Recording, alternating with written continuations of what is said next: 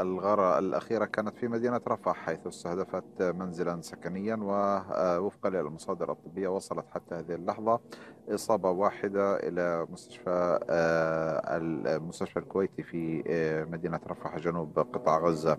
لكن اللافت هو آه، أن القصف المدفعي لم يتوقف في معظم المناطق الشرقية لغزة. حتى هذه اللحظة ما بين فينة وأخرى آه، القصف المدفعي آه، يستمر ويتواصل على المنطقة الشرقية لمخيم البريج وشرق منطقة المغازي وأيضا في شرق دير البلح وسط القطاع. هذه مناطق تتعرض للقصف المدفعي بالتوازي أيضا مع استمرار القصف المدفعي العنيف على منطقة خان يونس ووسط مدينة خان يونس جنوب قطاع غزة.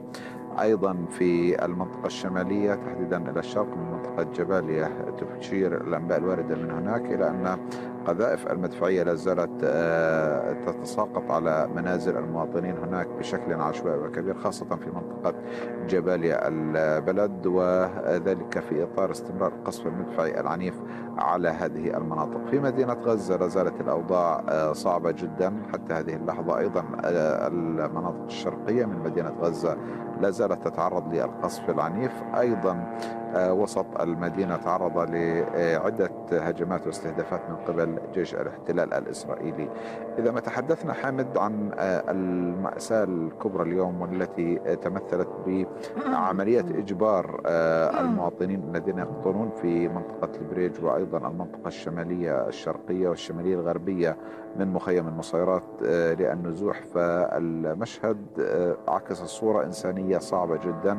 باتت تزداد تعقيداتها يوما بعد يوم وساعة بعد ساعة في ظل نزوح هذا العدد الكبير. تقول الإحصائيات الأممية أن تطبيق الجيش الإسرائيلي لقرار تهجير آه، سكان مخيم البريج وأيضا أجزاء آه، الأجزاء الشمالية من آه، مخيم النصيرات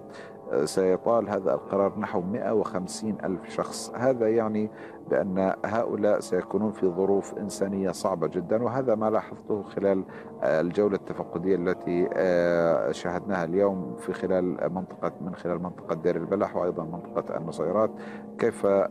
يخرج المواطنون من هذه المناطق هربا من القصف وجحيم القصف الذي يتعرضون له بشكل عشوائي وبشكل مباشر سواء بالأحزمة النارية والغارات الجوية من جهة أو بالقصف المدفعي والذي دفعهم باتجاه الخروج إلى طريقين إما إلى هنا إلى مدينة دير البلح وسط القطاع أو إلى آه، مدينة رفح جنوب قطاع غزة. لكن المشكلة الأكبر هي أن حتى هؤلاء إن وصلوا إلى مدينة رفح لن يجدوا آه، مكانا آه، آمنا. أولا وثانيا المساحات باتت تزداد ضيقا في هذه المنطقة وبالتالي